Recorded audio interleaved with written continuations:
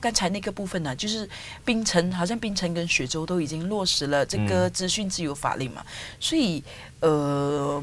你是觉得有什么地方马克思现在滨州跟雪州的呢，有什么地方需要改进的吗？需要改进啊，需要改进的。我是觉得说，首先我们要清楚的知道，呃，我要知道那个资料，跟我必须要知道那个资料，其实它是有一定的区分。嗯，啊，怎么说？因为刚才你讲嘛，呃，有没有知情权这个权利？当然，如果你回归到这个法律这个角度的话呢，其实联邦宪法它是没有明文规定说我有知情权，我必须要知道这个资料。因为其实我们的联邦宪法才有区区的那呃几个人权的条文而已，但是呃法官就是联邦法院，他有两个案件，他都强调是说，当我们去诠释这个宪法的时候呢，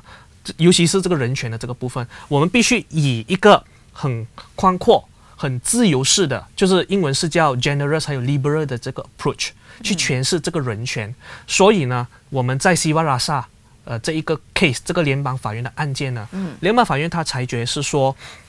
我们的知情权其实就是在我们的言论自由的那一个权利底下。当我们讲言论自由的时候，同时间我们也是有权利去知道那一个资料，那一个知情权。所以我们必须通过这样子的一个方式去，呃呃，有这个权利去接受这些资料，这样子。嗯哼，嗯，所以。呃，现在只有两个州，就是滨州跟雪州，而且都是所谓的反对党执政的州属。那你觉得整个就是中央需要落实，有必要落实这个自由资讯法吗？当然是需要啦，但是换政府先啊。我 我看我我们已经没有那个，我们已经失去那个信心了，因为在连续这几年所发生的种种。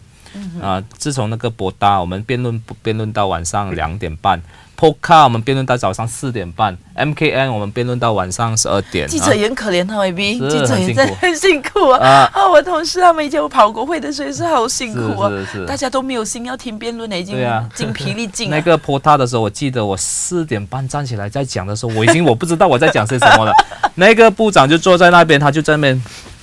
他就停在那边，我议长就坐在那边，也是这样子。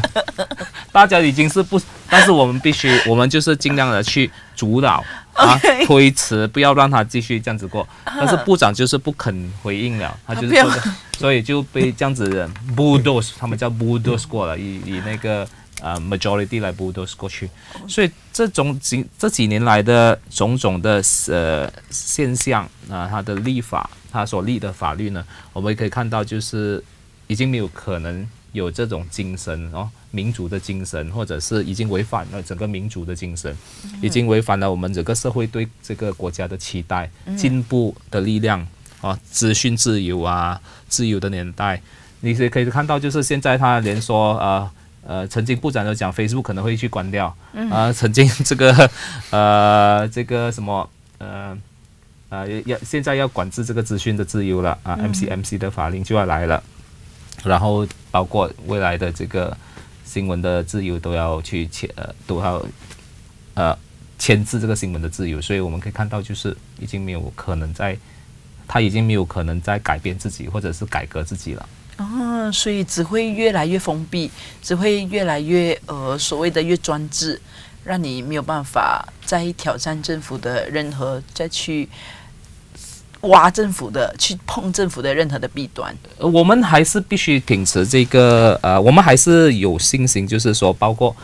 已经关不到的，OK，这些资讯是关不到的。比如说这个 Panama Paper，今天最红的就 Panama Paper。这个是突然间爆出来的，然后导致冰岛的总理必须要辞职，二十四小时吧，就必须要辞职。第一个辞职的。所以他这种资讯年代啊，没有一个政府有能力去呃牵制所有的事情，所以我们还会继续看到很多的丑闻啊，或者很多的 滥权，或者很多不公义的事情都会被揭发出来。然后当然呃，站在这个政治的最前线的我们一些呃在野党的议员呢，我们我们已经是 committed 了，我们已经是说一定要推挑战这种。啊，恶法哦，我们必须要推倒这个这这个恶法的那道墙。这样我想问一下哦，就是我们可以采取任何的这个行动去挑战这个机密法令，是违反宪法的吗？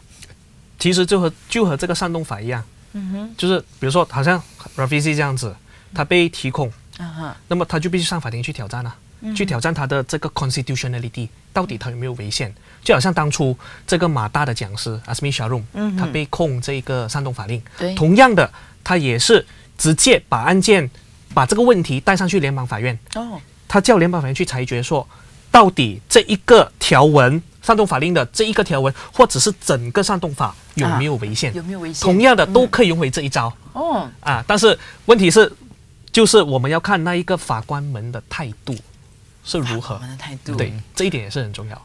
所谓看到官场要看官的脸色 啊，不是不是不是做外币的官，而是法官的官对。对对，法明官那个，这个题外话，明天我就是要提成一个呃 constitutional challenge，关我们的 Peaceful Assembly Act。我自己被被这个呃和平机会法令和平机会法令被调啊、被被逮捕，然后被控上法庭。嗯所以明天我们把那个条文去挑战，到底它呃到底是否是符合宪法？所以这个我们会用我们的，当然我们可能是以身试法，然后去挑战这个这个呃恶法啦。所以可以不要这样悲惨吗？一定要以身试法？我可不可以直接直接就是呃，就是入禀法庭说啊，这个法令是挑你呃没有法定地位，没有英文法定地位呃英文是我们 Local local standby，、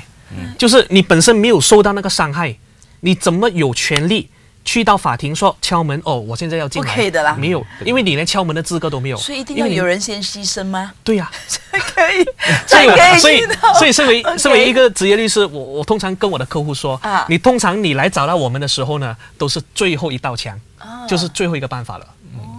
哦，OK OK，肯定是以身试法所。以一一定要有人以身试法了，然后再不要紧不要紧，民众不用担心，我们去搞点就好了，你们就不用去。那个，哦，我一定告诉你们说，这东西通常他由他只会对付我们啦，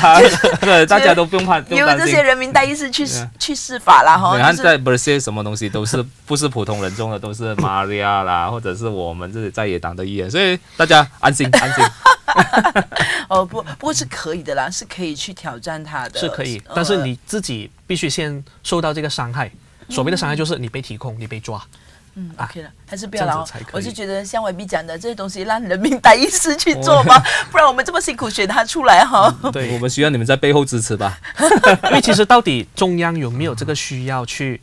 呃提成去就去落实这个资讯自由法令呢？我是觉得说，以现在的局势来看，是不可能的啦。是不可能，因为嗯他们还要去修改、去加强这一个官方机密法令。但是如果真的是要做的话呢，我是觉得说，官方机密法令它不需要被废除，但是它必须把所谓的刚才我讲的那个平民罪嗯哼，给删除掉。